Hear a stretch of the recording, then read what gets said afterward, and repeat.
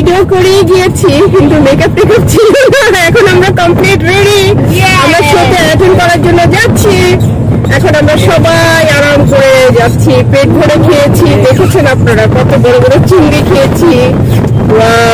অসাধারণ স্বাদ। বিকজ নদীর একেবারে টাটকা চাষ ছাড়া চিংড়ি দেশি চিংড়ি খেয়েছি। খুবই ভালো লেগেছে। খুবই মজা লেগেছে। আর শ্রাবণ শাহ কিছুই বাকি দেয়নি মানে বাকি রাখেনি মানে ইলিশ খেয়েছে চিংড়ি খেয়েছে হাঁসের মাংস খেয়েছে। আমি কিছু খাইনি। আর এই যে একটা আছে আমাদের ছোট বোন ও কি করেছে? একটা বড় ইলিশ মাছের মাথা নিয়েছে। কিন্তু দুর্ভাগ্য ও খেতে পারেনি। আমার খুব আফসোস লেগেছিল। চারটায় চিংড়ি খেয়েছি না খেলে ওটা খেতাম। আলেক ভাই কিছু শেয়ার করেন কি খেয়েছিলেন?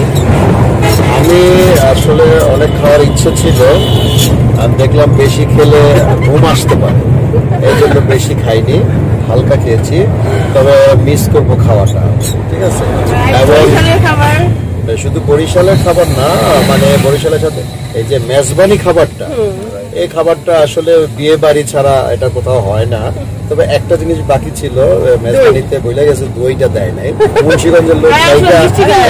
Sprite দিছে, দইটা দিলে পরিপূর্ণ। শেষ করে হ্যাঁ। দইটা কেন ছিল না ভাইয়া রাত্রে কি খাব? দই।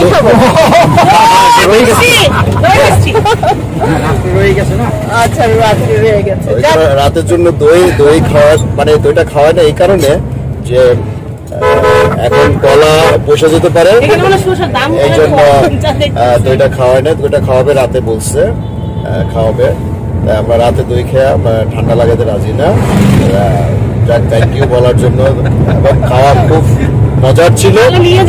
কেউ কেউ মানে খাইতে খাইতে এমন করছে লাস্টে মাথাটা খাওয়া ফেলবে মাথা খেতে পারে না। শেষ করে। মানে মাথাটা খাওয়া ফেলবে। কি কি খেলি বল? প্রথমত অবশ্যই চিংড়ি আমার প্রচুর পছন্দ। ইলিশ মাছ খেয়েছি হাঁসের মাংস খেয়েছি ওটা তো চরম অ্যালার্জি। মুরগি খেয়েছি আর পোলাও খেয়েছি সামান্য পরিমাণে। সালাদ খেয়েছি প্রচুর। খাইনি কোনটা? সবকিছুই খেয়েছি। তবে বেশি স্পেশাল যে জিনিসটা আমার কাছে মনে হয়েছে সেটা হচ্ছে হাঁসের মাংস চিংড়ি মাছ ইলিশ। আর ভাইয়াকে স্পেশাল থিংস তিনটে অ্যালার্জি জিনিসই একসাথে খাওয়ানোর জন্য। কারণ তিনটাই পরিমাণ অ্যালার্জি প্রচণ্ড সুস্বাদু প্রচণ্ড লোভনীয় এবং প্রচণ্ড ক্ষতিকারক মায়ের লোকটা ধরো আমি কি করব? প্রত্যেকটাই খাইছি কিন্তু চারটা চিংড়ি আপনি খাই বলাইছেন চিন্তা করলাম আমি চারটা সিংড়ি খাইতে পারব না। আমি এই জন্য দুইটা সিংড়ি খাইছি। ভাই আমি বিক্রমপুরের মেয়ে আমার আমার বাবা বলছে খাবি। তো ছোটবেলা অনেক খাইছি তো। গেছে। প্রিয় দর্শক আমি শুনেছি এক বসায় খেতে পারি কিন্তু এখন খাই না মোটা হয়ে যাব দেখে। একটা তরমুজ একটা তরমুজ ইচ্ছে করলে আমি বসায় খেয়ে শেষ করে ফেলতে পারব। আর আমার সাথে যদি কেউ গ্যান্ডারি খাওয়ার জন্য আহ, প্রতিযোগিতা লাগেন মানে পাঁচ লক্ষ টাকা কেউ আসতে পারেন।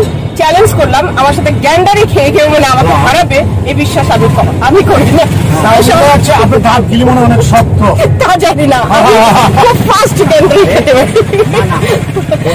যাই হোক অনেক এনজয় করলাম আহ, অনেক আনন্দ করলাম। আসলে এই স্মৃতিটা ভুলার মতো না তাই ভাবলাম যে এই স্মৃতিটা আপনাদের সাথেও শেয়ার করি।